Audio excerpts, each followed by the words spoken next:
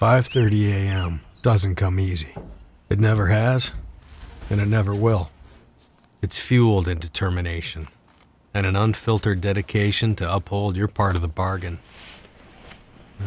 5:30 a.m. doesn't come easy, but knowing that others depend on you.